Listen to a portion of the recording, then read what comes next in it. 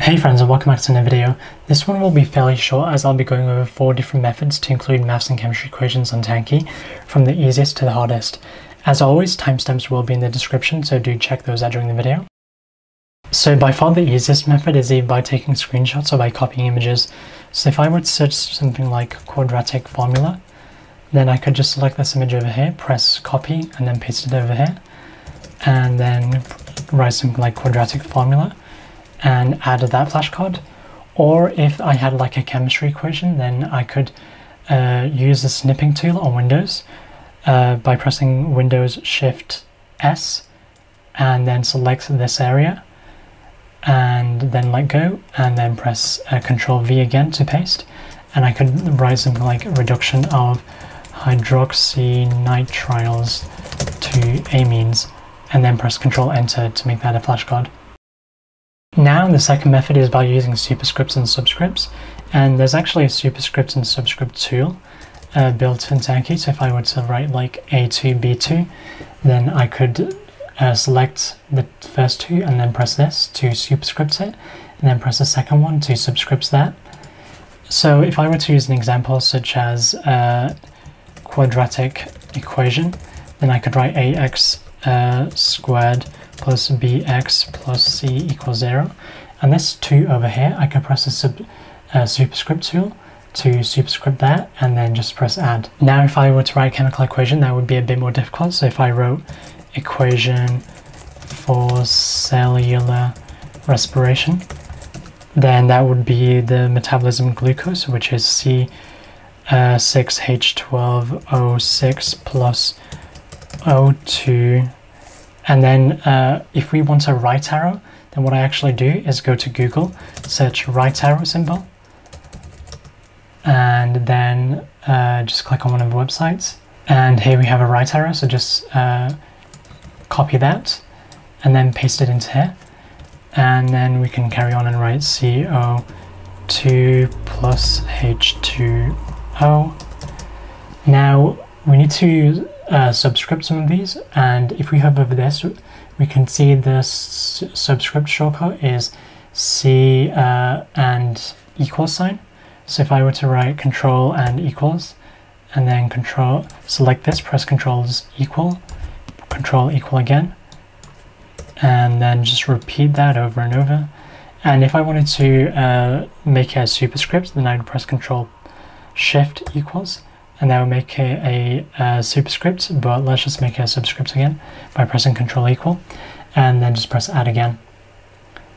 Now, searching up symbols is actually quite neat, so if I would search like a lambda symbol, then I could also find uh, the symbol over here, copy that, and if I were to write uh, something like uh, speed of a wave, then that would be c equals f lambda, and this is actually bold, so let's unbold it.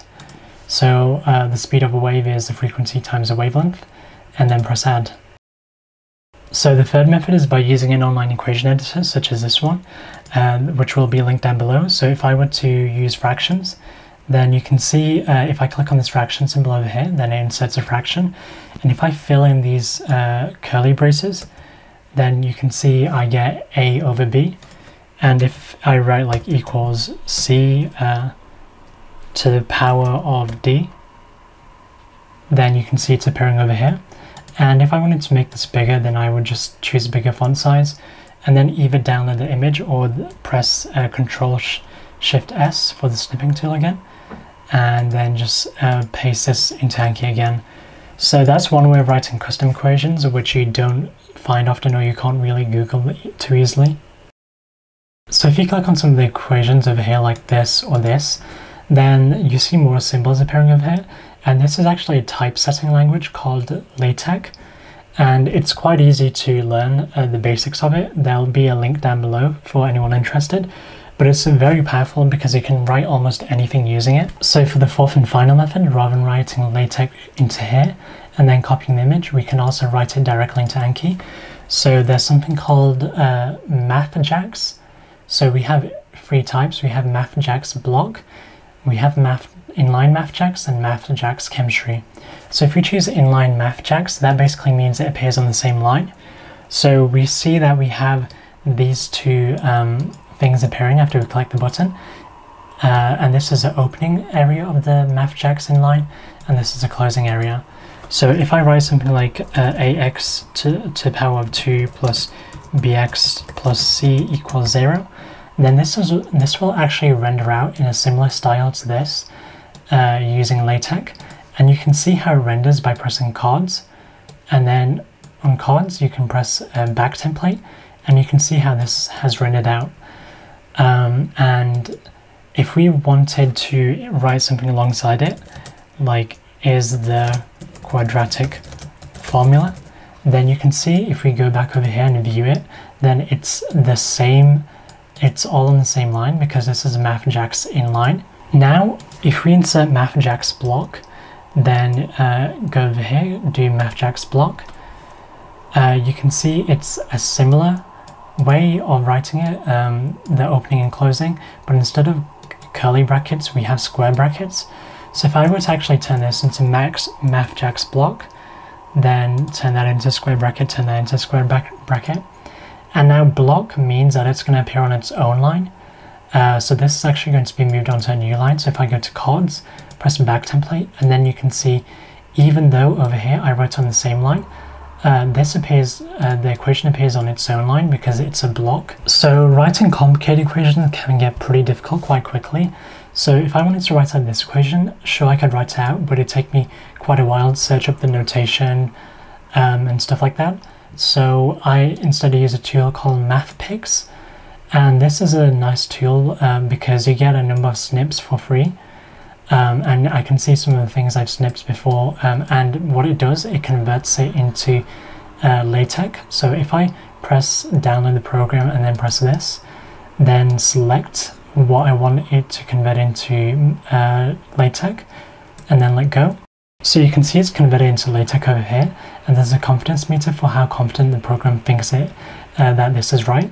So if I choose the first version and then click it to copy it, and then in this section I want this to be on its own block, uh, press paste, and then let's remove this is a quadratic formula part.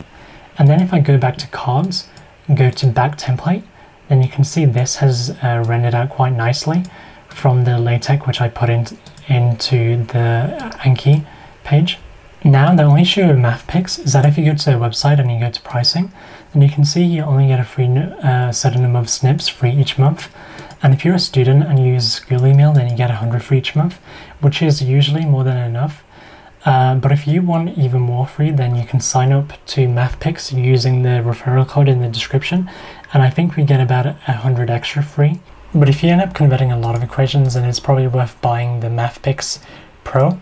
And if you're tired of pressing cards and going to back template to see how the LaTeX looks rendered out, then what you can do on MathPix is that you can copy uh, whatever LaTeX you want, go to write area, and then paste this into here, and you can see updating live as you write out. So if I just add more things onto here, then it updates live and then I can press save if I want to as well. And then just copy this back into this nice block. Now you can do something very similar to write chemistry.